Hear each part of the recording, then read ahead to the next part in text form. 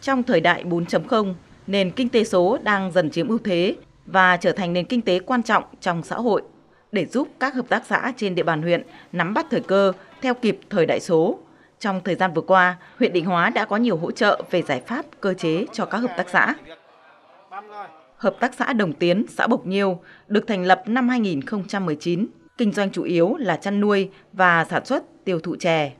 Để có được thị trường tiêu thụ ổn định, hợp tác xã hiện đang liên kết cung cấp sản phẩm trà cho một số siêu thị lớn tại Hà Nội, đồng thời quảng bá tiêu thụ sản phẩm trà trên mạng xã hội Facebook. Hiện thị trường tiêu thụ chính của hợp tác xã chủ yếu là các tỉnh miền Nam. Hàng năm, sản lượng chè búp cô của hợp tác xã tiêu thụ đạt khoảng 27 tấn. Doanh thu của hợp tác xã đạt khoảng 2,5 tỷ đồng trên năm.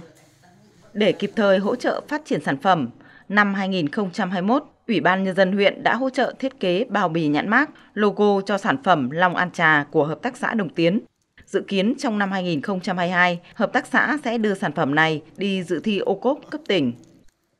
Chè thì mình sẽ có định hướng thứ nhất là áp dụng cái công nghệ, giống như là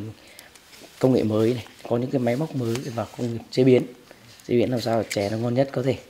Là thứ hai là cái khâu mà bán hàng ấy thì cũng sẽ phải áp dụng công nghệ đấy dụng chung là sẽ áp dụng cái triệt để cái những cái mà thuận lợi cũng như là mình đang có được. Đấy tức mình được học và mình có mình áp dụng vào. Ví dụ là chạy quảng cáo bán hàng và và với cái chất lượng của mình thì mình đảm bảo là là, là có thể là có thể là khẳng định được khi mình bán hàng này sẽ sẽ giữ được khách lâu dài.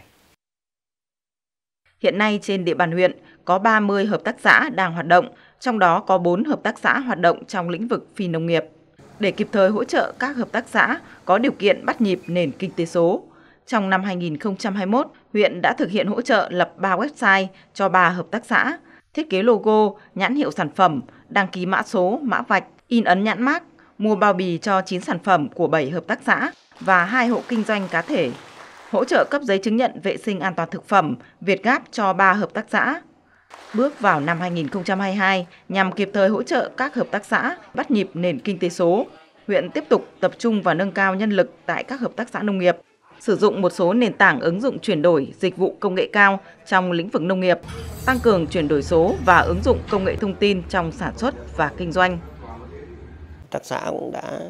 ờ, được cấp trên hỗ trợ, ví dụ nhãn mác với ờ,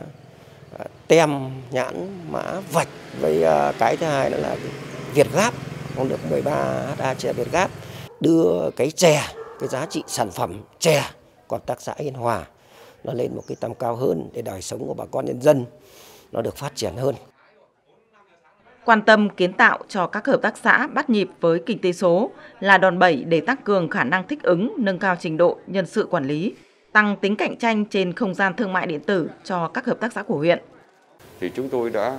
à, tư vấn cho các cái chủ thể về sản xuất, à, bảo quản và chế biến nhằm là từng bước nâng cao cái chất lượng sản phẩm, lựa chọn các cái sản phẩm đặc trưng sản xuất à, theo cái quy định có thế mạnh để đề xuất với huyện với tỉnh để có cái xây dựng cái thương hiệu như là thiết kế logo nhãn mác truy xuất truy xuất nguồn gốc để cho để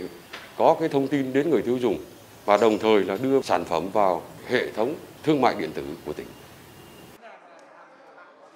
Trong thời gian tới, huyện Định Hóa sẽ tiếp tục tuyên truyền, đào tạo nâng cao năng lực hoạt động cho các hợp tác xã, đồng thời triển khai hỗ trợ các hợp tác xã ứng dụng khoa học công nghệ vào sản xuất theo chuỗi và đưa nông sản lên các sàn thương mại điện tử của tỉnh, website ô cốp để từ đó giúp các hợp tác xã bắt nhịp với thời kỳ kinh tế số, phát triển sản xuất kinh doanh, làm giàu và xây dựng quê hương.